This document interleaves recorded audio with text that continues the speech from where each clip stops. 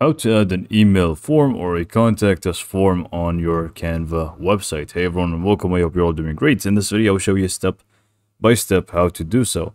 Now, I'm just going to be doing it in this test website that I have. And I'm just going to go for um, this page. Let's just go ahead and add it to this page. So in this case, all you need to do is just go ahead and open up a new browser tab and just type in jot form. And then we just want to open up this platform, which is going to pretty much allow us to create a, an email form and we will be able to collect information using it. So let's just go ahead and go to Jot, Jotform and sign up with Google. Or if you have an account, you can just go ahead and sign in. I'm just going to do that real quick and get back to you once I'm done.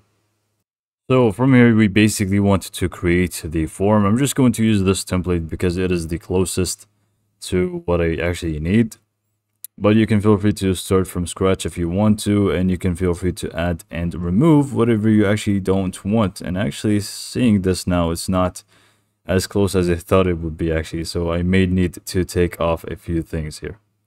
Now adding and removing stuff is actually very easy. All you need to just go and go to the section that you want to remove uh, which in my case is this one. I'm just going to click on remove uh, and if you want to edit anything else, you can feel free to also do so. In this case, I'm just going to type in email form, like so. I can't even type today.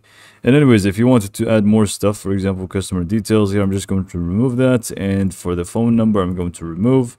Email is very important, so I'm just going to leave that here. This one, I'm just going to remove, remove, remove. And if you want to add stuff, you can also feel free to do so from the left panel. You can see add element section. So you can add stuff there as well. And this is not required because you can see the required fields actually do have a star right next to them. So we can just go and click on email. Uh, and we can just go and click on the settings icon right next to it. And then we also can change the um, alignment to that. So let's just go ahead and uh, keep that.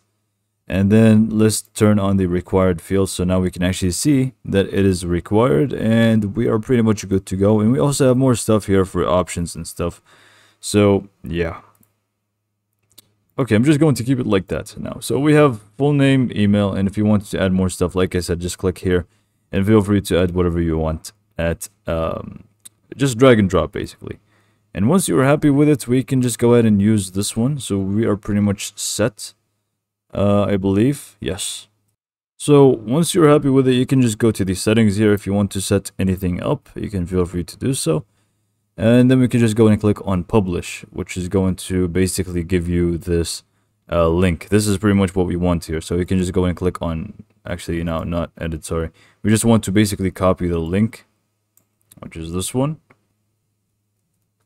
and we are pretty much good to go. Now we can just go back to canva and here we can just either go to the apps section and search for embed like so and we can just go ahead and click on that one and paste in the link right here and click on add to design.